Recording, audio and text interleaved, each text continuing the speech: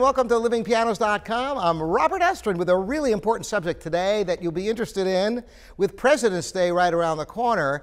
What pianos did presidents have in the White House? Well, this is a really rich history. Did you know that from the very beginning there were pianos in the White House? In fact, George Washington had not only a piano, but he also had a harpsichord in the White House. Think back at that time, this would have been a Mozart era piano, so very much like the forte pianos that Mozart played. Rutherford Hayes, as well as Grover Cleveland, they had pianos and harpsichords as well. So there's a rich history going all the way back. Now, a lot of pianos in the White House, believe it or not, were upright pianos. There were about half a dozen presidents that had uprights. Equally important, back in the 1800s, there were about half a dozen um, pianos that were square grands that presidents had. Square grands, if you've ever seen them, they're sometimes referred to as coffin pianos because when they're closed, indeed, they look like a coffin. It's kind of an interesting footnote in the development of the piano. Not the greatest piano, really, but uh, they were very large and a really radically different design from the modern piano. Well, perhaps one of the most significant pianos in the White House is the Steinway given to uh, the White House by Steinway during uh, FDR's, Franklin Delano Roosevelt's administration, and it was designed by Eric Gugler and gift, beautiful gilt stenciling by Dunbar Beck. This was a really extraordinary instrument that is still there. So since that time, all presidents have been able to enjoy this Steinway.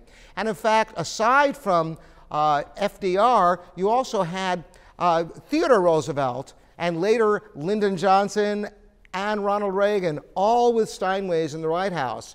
But is that the only brand that was in the White House?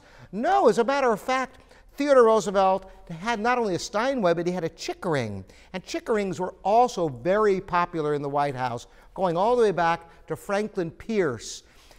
And James Buchanan also comes to mind. And did you know that Abraham Lincoln had not one, but two Chickering pianos in the White House, an upright and also a square grand?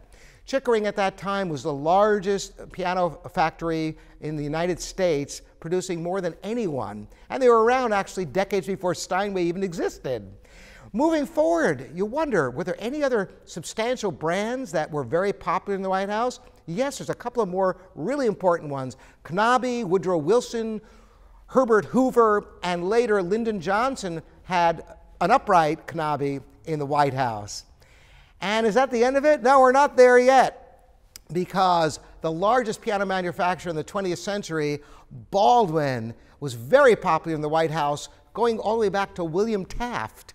And not only that, Harry Truman not only had a uh, Baldwin in the White House, he also played, as did Richard Nixon. In fact, he did a performance accompanying Pearl Bailey in the East Room on his Baldwin. So there's a rich history of pianos in the White House. So when you, next time on President's Day, think about the rich history of pianos in the White House. I hope you'd enjoyed this. Once again, I'm Robert Estrin here at Living Pianos, the online piano store. See you next time.